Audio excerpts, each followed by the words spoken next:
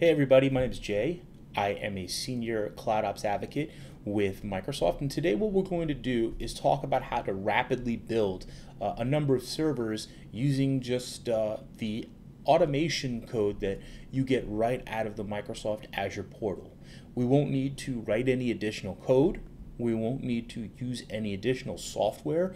We're just going to use uh, the Azure portal. We're going to uh, access a uh, a parameter uh, template. We're going to make some modifications to that parameter template. And then what we'll do is we'll just launch a new machine. So the really easy part about this is that we can start from the portal and then move our way to automating everything. Um, let's show you how. So first, we're going to go ahead and we're going to go to resource groups. We're going to add a resource group. So uh, to add a resource group, what we're going to do is just give it a name, and the name of it will be, um, I guess it's a Wednesday, so we'll call it uh, Wednesday. Um, we'll use my subscription, and we'll do it here in the U.S. East region. We'll click Create, and it'll go ahead and create a new region for me called Wednesday, or I should say a new resource group called Wednesday. And this is where we can start adding new resources to build a server.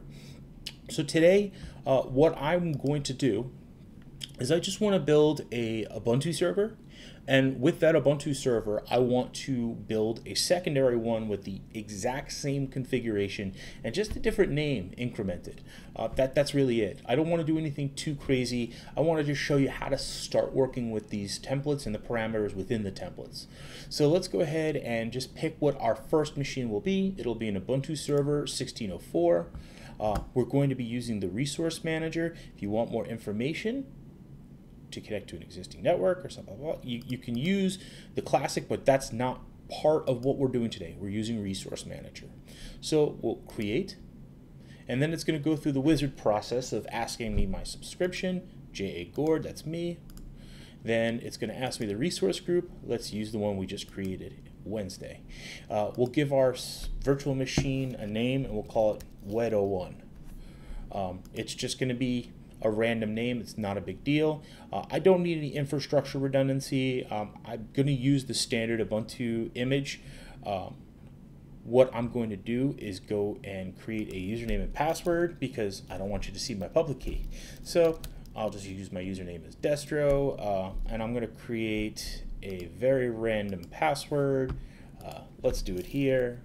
We'll just keep a VI and we'll type temp pass because in case we want to get back to it later. Uh, don't save this obviously on your computer. Don't check it in somewhere. This is just some scratch space for the moment to have a somewhat ridiculously long, silly uh, password. So let's just pop it in here pop it in there. Cool. So we're not going to need to log in with Azure Active Directory Services. Um, and then what we want to do is we don't want to open this to the world. It doesn't seem really necessary. So what we'll do is we're going to allow no public ports in. We'll take care of that another time. And let's click uh, disks next. All right, so uh, we're just going to use premium SSD. Let's use all the defaults, and then let's add an additional disk just in case we want to store some data. Uh, we don't need this much, so let's just set this to 50. Okay, we'll use premium SSD. We'll keep this default name. Uh, we're not going to use a source disk. We're not going to try to image something onto this. It's not necessary. We just want a blank machine. So let's click OK. Uh, so now we have our new LUN that's attached that's going to be part of our VM. Uh, so next let's go to networking. So what we're going to do is create a virtual network. We're going to uh, have a default subway configure or subnet configuration. Uh, our IP address uh, is going to be named WED01 and then what we want to do is we want a uh, an advanced security group because we don't want to just allow public ports. So we're going to click advanced, and there's going to be this group that's created for us, and it's DB server Oh Nope, we want to use this one, WED 01. We don't want to use a previously existing group. So we'll just go in there, and we don't need accelerated networking, and we'll click management. So don't worry about any of these things right now, but if you would like to get more information on them, you can click the I and it'll give you information on where to learn more, such as boot diagnostics or OS guest diagnostics, uh, stuff uh, as far as uh, diagnostics for your storage. Uh, we don't need to worry about the uh, access and identity uh, management service right now. We're not going to be auto shutting down the machine, and we don't need backups. If we wanted all this stuff, we can go back in the future and create it. So let's go to guest config. Um, we're not going to install any extensions, but if we wanted to, we had the opportunity to install a number of different uh, agents and ways to connect uh, this new server to some existing software you might already be using like Chef or Datadog. So we don't need CloudInit. CloudInit's if you want to uh, have some code uh, run at the first time. Say you have a, a packaged uh, bash script that goes and grabs a whole bunch of repositories, adds them, and then uh, apt-get uh, install some stuff for you. That would be how you want to, um, especially if you didn't have, like, say, the Chef agent to uh, install via an extension. You might want to do something like that. So we'll go to next. We'll do uh, name, and we'll call it WEDS01 and then we'll go to review and create. So we have all the information. Oh, it's WED01. So let's go previously and we'll just call it WED01. Sorry about that. Review and create. So we're going to find out all the information that we have about this new server that we want. And it's kind of going to be the basis for the machines that we're going to build next. And that's what this area is for. So what we're going to do is we're going to go and click download a template for automation. And this is going to be really, really useful to us.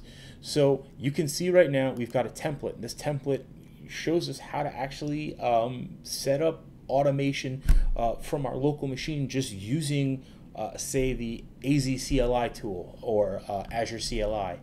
And then we have all the parameters. So these are the specific things that we want uh, to set as variables so that when you actually uh, launch this automation code, it'll build everything the way you want. Now, we need to increment a few things around the name, and I'll show you how to do that in just a second. Um, and then when we want to actually start launching things, they give us a, a, a, bash script, a PowerShell script, a .NET script, or a Ruby script to use to start either embedding it into other software that you have, um, or if you just wanted to do what we're doing and just run it from your command line. So what I'm going to do is I'm going to download this template. I'm going to open it in Finder. And then I want to take this template and I'm going to just put it here on my desktop for now. I'll replace the one that's already there because I've been doing this for a little while today. Uh, great. So let's close this because we don't need this template area anymore. And then what we're going to do is click Create. And so what it's going to do is it's going to start initializing all the information that was created in that template. And it'll start deploying our new uh, uh, virtual machine. So after a few minutes, it'll be finished and uh, what we'll do is we'll go ahead and add our IP address into the network security group. So I'll be back with you in just a minute. So it looks like our deployment is complete, as you can see from all here, and you can see all the resources that we wanted uh, were, were, were built for us. Uh, we've got some information about it, uh, and what we can do is just click go to resource, and now we have information about our server. If we wanted to configure a DNS name, which maybe I will, maybe I won't. It's all about whether or not you want to have a dynamic or a static IP address. So you can go ahead and add, say, WED01, and it will automatically uh, start giving you this fully qualified domain name that will publicly make it accessible. Um, you just have to set your IP to a static. That will mean that it could make some modifications to your uh, your VM, uh, we don't really need to worry about that. We're just going to leave it dynamic. Um, so uh, to actually SSH into the machine, though, we'll go to connect. We'll clap, grab this.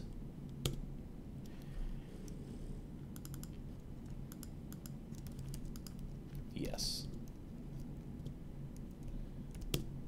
Now there's something I noticed, and it kind of bothered me, and it's this. If we go to security, or I should say we go to networking, this rule right here, what does this rule say? It's allowing default SSH into the world, to the internet. I don't want that. So what I'm actually going to do is I'm going to make a change to that and make it so that the IP I'm coming from, and if we go curl, I can has ip.com will return an IP address of where I currently am. So I'm going to take this IP address. I'm going to change the source from any to IP addresses. I'm going to put my IP in a slash 32. I'm going to leave all the other settings as is. And then for the description, I'm just going to put my home IP and then click save. And what it'll do is it'll add a little bit of additional security hardening so that only my IP address will be able to get into these particular servers. That's what I want. So let's get back to the whole automation process because now we can see we've been able to log into this new machine. Let's go back in here, grab this silly password. Cool. So we're in the machine. Uh, we got get to the internet. We have uh, our standard uh, internal NAT. So we're all configured uh, and ready to go. But uh, like I said, we want to build an additional server. So what I'm going to do is this. So let's go open up a new terminal and let's find the template that we went ahead and we downloaded. So I'll unzip this. Then I'm going to just do this. I like doing it this way when they have a funny name at the end as I like to type CD, drag that in there, enter. Let's take a look. And there's our deployment script, um, our helpers, and our actual parameters. So what we're going to do is just go into parameters.json. So if you don't want to use VI, it's completely your decision. I just use VI because I'm almost 40. That's really it. So what we're going to do is this. We don't want to change this particular uh, setting because I want to keep everything with WED01 SG. Uh, I want to go everything under one security group. But what I do want to make sure is that WED01 uh, is no longer in use by other resources that we create. So we're going to do two things. I'm going to use uh, find and replace within VI. If you have another tool like v, uh, VS Code or something like that, uh, that's fine. So I've gone ahead and I've updated every single reference to WED01 to WED02. Uh, but I want to just go back and I'm just going to modify this back to WED01 because I want everything to be under that security group. Just makes it easier. I've already configured it. There's not much more I have to do. Um, don't worry about this. Uh, it's not going to overwrite it. it. Shouldn't be an issue either. So let's take a look. We've got our address prefixes and everything set up for our subnets, uh, all of our storage requirements, all taken care of. Cool. So let's save the parameters. And now we've got all these different scripts that we can run. Uh, and all they're going to do really is, uh, at least from the bash script, it's just going to use AZCLI, um, just this and, make modifications to your account via that utility. Uh, if you were doing it with, say, Ruby, you'd be using the native API, uh, but the CLI tool seems to work just fine for someone like me who has a lot of experience with bash and stuff like that. So what we'll do is we're going to go ahead and click bash, or I should say type bash deploy.sh, and now it's going to ask me for some additional information. Really easy to get.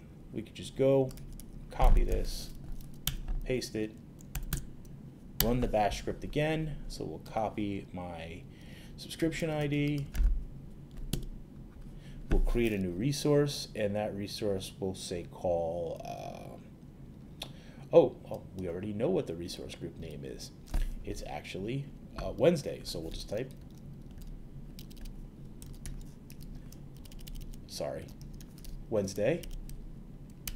And then we'll give this machine its own name. So we'll call this uh, that one's WED01, so we'll call this WED02. Fair enough. Uh, if we're creating a new resource group, we need to set a location. We're not. We're using the one that we created before, which is US East. So we'll just hit that. And so right now what's going on is it's taking the parameters. Uh-oh, admin password is null.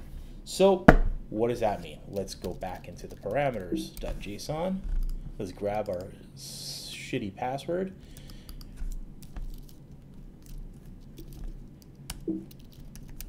And what we'll do is we'll find password. Oop. And what we'll do is we'll modify the value to include the password that we were using before. If you want to use an SSH key, you can modify the value uh, to use the SSH key.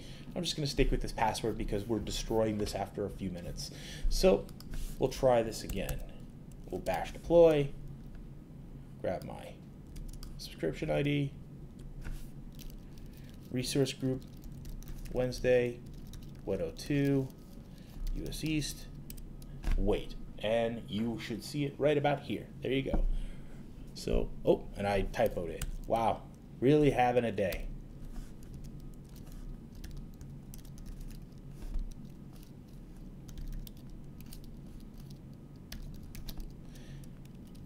That's the fun thing about doing these. The way I do it is that I just kind of roll with it and find the problems and keep going and, and let you see what mistakes I made because you may make some of these same mistakes, whether it's a typo or something like that. It, it's really easy to kind of just be sure you, you watch what you're typing because you can make a mistake here and there. But anyway, uh, we're just going to wait for this and, and it's going to go ahead, uh, execute the parameters against all the information in the template. And by the time it's done, you should have a new server that's ready for you to start working with. So uh, let's just wait a minute. And when we come back, we'll take a look at our new machine.